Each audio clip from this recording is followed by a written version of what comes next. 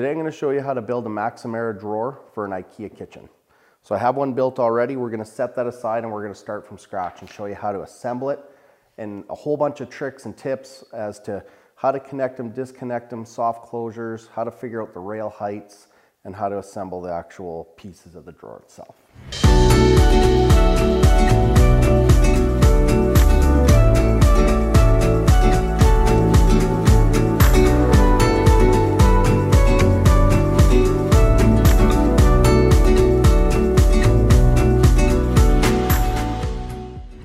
We get into it, uh, keep in mind when you get your little package, and I have a video on how to read an uh, IKEA instruction manual. So, or I call it deciphering the old IKEA, what do you call it, hieroglyphics. Yeah. So your build list is super important because it will tell you which cabinet, and there'll be a cabinet number and what parts associate with that cabinet. So where you find that information is in this little booklet that has the plan view and all your elevation views of your kitchen and it shows you your cabinet numbers and everything like that. So that's in that other video that I talked about is just how to read the manuals. The build list is handy. It tells you what part numbers go with what. So I have myself, I'm doing a two drawer unit. So it's just a 15 inch tall drawer and a 15 inch tall one on top because the lower base cabinets are 30 inches high. So that with the tall one goes with a high drawer. So there's a low drawer, medium drawer, high drawer. So we're doing a drawer right now. In your, in your little manual or in your, out of your Maximera box, there'll be a manual that shows you all the different box configurations. And it'll show you, so we're doing a two drawer front right now. So it tells you what spacings to set the rails at. It, these ones over here, if you have two with the little dotted line means the drawer hidden in behind. So it shows you how to put those rails in and if you look very carefully, it'll show you exactly what screw hole goes in what position. So those are important. It, there is a difference between a drawer that's set back and one that sits out front with a finished front on it. And it just shows you some pantry units and stuff there as well. Okay, but that's in that other video. So that comes in that manual or in that box and so does this. So this is the high drawer. So we're gonna get into it. We're just gonna start right at the beginning. Shows you all your part numbers. And it comes with the drawer glides, comes with the soft closures automatically. And then really we just get into actually clipping this thing together. So you just, like anything, I'm not gonna go crazy detail. You just gotta watch and look at the pictures carefully because it shows you exactly how to clip this all together. So here, these tabs point back and this is the bottom groove that accepts the shelf. And then there's two square holes here. And I'll just flip that, and that matches these two little nuggets in there. And you'll know right away.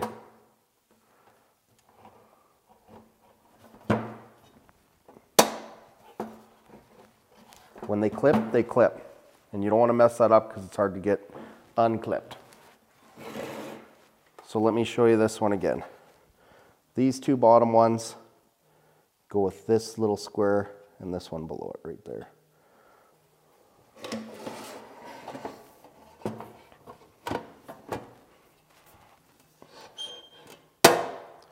And once it's clipped, it's done, okay? And then I'll just follow the instructions like good little boy.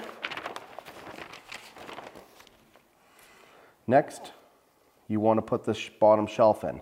Now remember the grooves are downward and we'll show you that. And you notice how this looks all gray? That's an unfinished edge.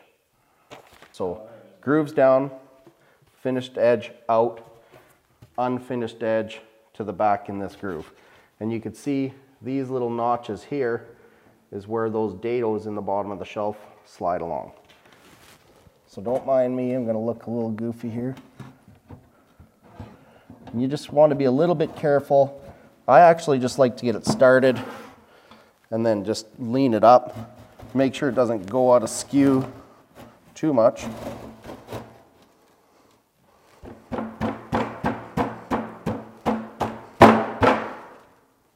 There. So that shelf fits nice and flush to the front of those rails. Okay. Good boy. Now tells me to put a long screw at the back here, which I will do that. Yeah, you have to be a little careful. Gotta love the Phillips bits.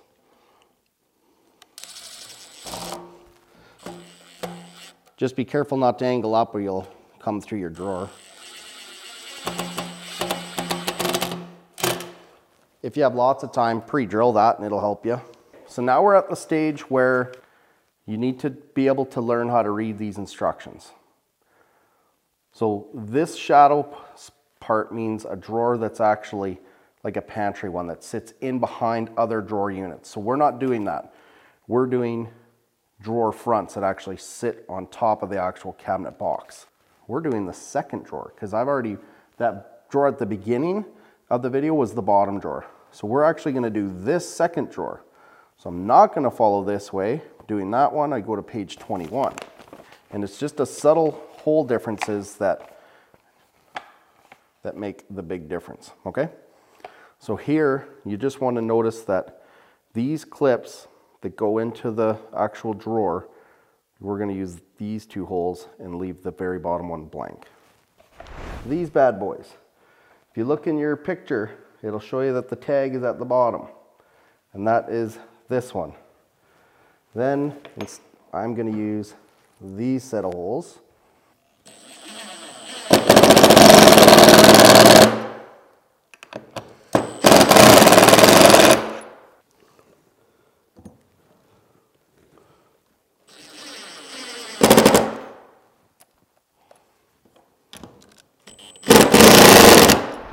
Next step is to put these plastic clips on and just keep in, keep in mind that we're gonna use the very top hole and the second one. So there's a little bit of a different spacing there.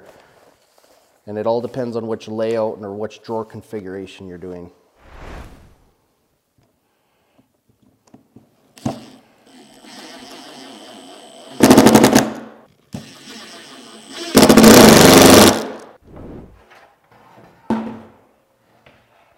Time to put the front on. Now you should probably come look at this. So these clips go into this square channel right here. So line those up, and once it clips in, you'll know.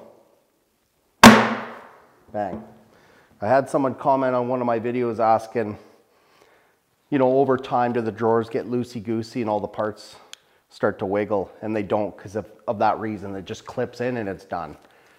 Now, here's an important tip. If you've done something wrong and you need to unclip the front, there's a little hidden Phillips little notch right there. So you get your screwdriver in there and just crank it and it pops that side out. Do the same thing here. Pry that little lever up and then you can remove that. That's super important. Super handy because if you're a rookie and you mess up on the instructions, at least you can redeem yourself.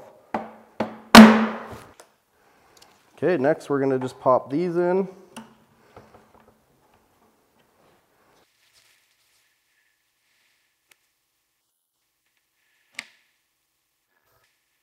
And you'll know if something's wrong. If these don't fit properly, you'll know that your spacings are wrong and you, you maybe have to just check your instructions again.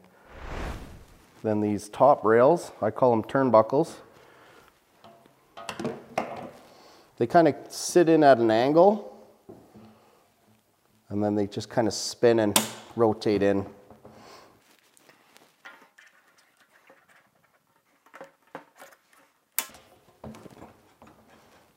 Okay, and then so these, I have a video on how to adjust all the drawers, but these are turnbuckles. When you slide these in, you can actually spin them in and out and that'll adjust your drawer front.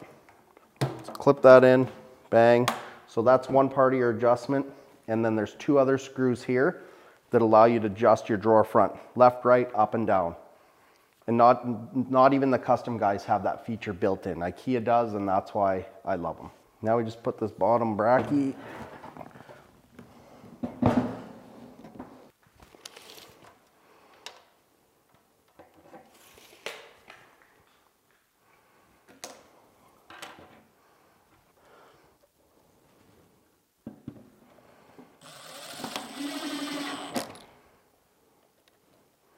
So if you ever have to take a drawer apart, don't forget about these.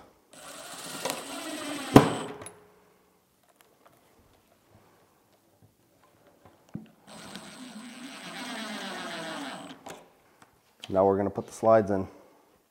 And if you look further in the instructions, it shows you how to adjust the drawers. Now, before I put the rails in, I'm just going to refer to this little manual. And we're doing a box similar to this one where we don't have two hinge drawers, we just have one hinge drawer at the top. So because this one is actually set back, I know that's a hidden drawer, so that's not the one I need to use. It's this one that's 13. And the reason I know that is because this one beside it is also the 13th hole. Now I gotta get my old eyes on there and it's the bottom set of screws on the 13th hole, okay?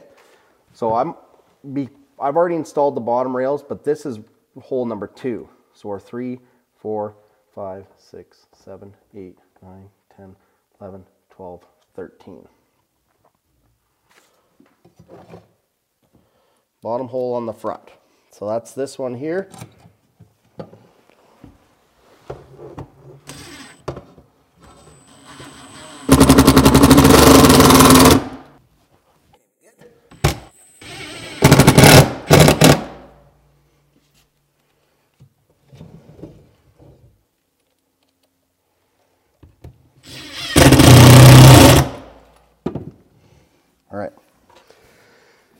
Now they do have a stamped R on those for right. And same with these soft closures. So we're gonna throw these on. So this has an R on it. And these two little notches go right here. Before we get too carried away, I have another video on how to remove these. If you've already got it on, you need to remove it. This little piece of plastic, you need to pull it out so that you can unclip it because this will actually hit the rail and it kind of locks into this rail. So I have another video on that.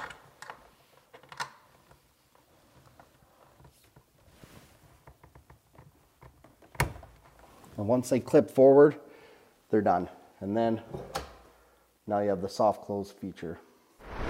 Okay, so now we're gonna install the drawers. So this is how you do it. You, you literally, I just put them back, I don't know, six or eight inches.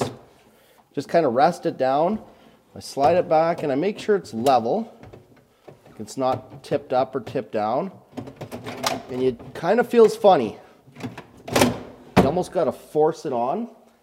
And it doesn't feel right that, that way. And then you pull it out all the way and then it should close nice. Now, if you've done your drawers correctly, you should be very, very close to flush to the bottom of your cabinet box, which we are. Ooh. Now this is the second height, which had a slightly different spacing, and it's all to do with the different rail heights and everything else.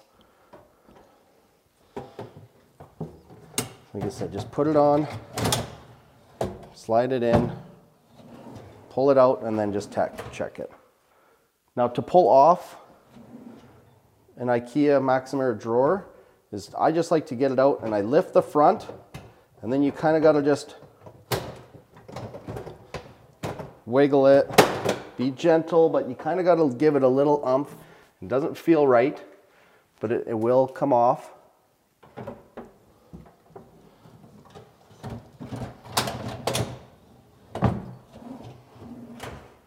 And then before we finish up, I am going to show you just the rails and how to figure out where to put the rails when you have a, a hidden drawer. For these glides, I want the 21st hole. I've got the hidden photo there showing me that this rail set back a bit. I'm using, there's a tiny little X that I can barely see. Bottom set of holes, middle hole on this line here. Second set of holes back. You'll know when you're actually doing it yourself. Okay, follow the directions like a good boy. Bottom row, middle hole,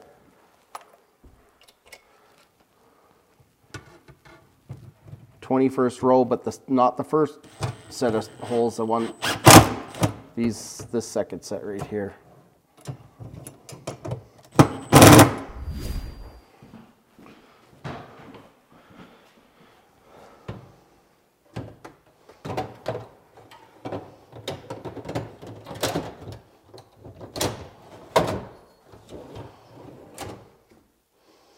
So that fits nicely. So before we end, I have a funny story for you.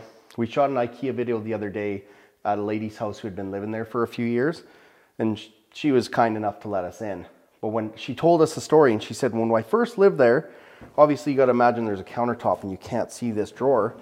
She's thinking like, why did these guys, like what a stupid design. Like, how am I supposed to get my forks and utilities out of this? Like there should be a different drawer. And it was like literally like four or five hours later, they realized the hidden drawer. And it was like, ah, see, smart. The other cool thing is just side note is you can actually get it where it functions. When you open the drawers up, it lights up this drawer as well. So that's just a kind of a cool, unique feature. But anyway, that's the drawers. Uh, should be lots of info in there, how to adjust them, how to set them, and uh, how to understand the manuals.